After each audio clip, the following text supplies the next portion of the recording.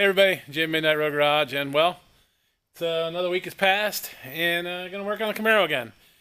This time I have some more parts. Got a new dipstick, well, new dipstick, new dipstick tube, oil filter, and uh, most importantly, got a new starter right back there. So if you saw the last video, you know I did not hit my goal of uh, actually getting the car to crank. So maybe this week I'll be successful. Let's find out. First up is the uh, Dick Stip tube. The uh, kit that I got, uh, the oil pan kit that I got, this is the tube that it called for. And uh, fortunately, Amazon actually sells the original GM. You can see the part number right there. And this is a uh, GM AC Delco part. Uh, I was not able to get a GM uh, dipstick itself. This is a Dorman part. But my old one, my old one, this is why I'm replacing. You can see it got messed up uh, taking it out. Uh, this dipstick might be the same as this one, so I may use reuse the old one and save this one. Either send it back or uh, save it. I'll probably just save it. I've got uh, two other LS engines that also also don't have dipsticks, so uh, I may just save it for one of those. So the uh, dipstick tube is the hole for the dipstick. the hole for the dipstick tube is right down there. It's kind of hard to see, but all right, let me put it in. So you can see the end of the dipstick tube has a O-ring that uh, needs to be seated into place. So what we're going to do is we're just going to stick this down in the dipstick tube hole, and then we're going to turn it until it until it seats. I don't really know if I'm going to be able to do this one-handed or not.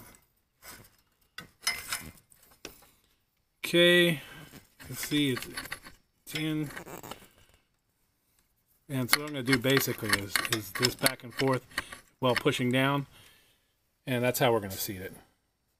All right, dipstick tube is in. Uh, I just wanted to show you this. There is a bolt that should be installed here. Make sure you install it because as you can see, you're going down the road. You haven't put that bolt in and this thing's doing this it is not going to last long. Okay, now onto the starter. You see I removed the uh, old starter in the last video I showed you. I had taken these two, the two bolts out and dropped it down so I could get to it and uh, you can see what happened. It is so rusty that it, um, when I went to loosen up that nut, it just snapped right off.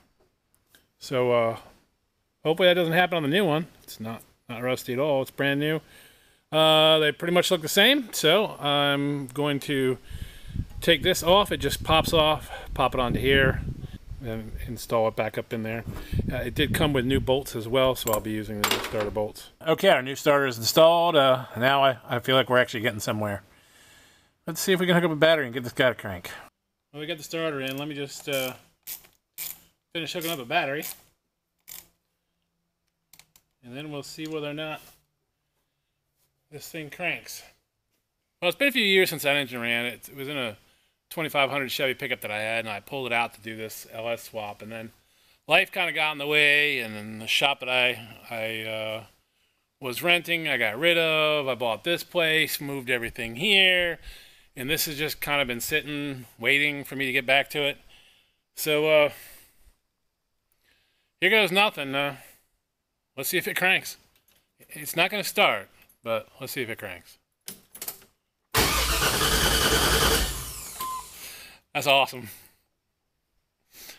It's been a long, long time since I've heard that engine crank. So, good day here at Midnight Road Garage.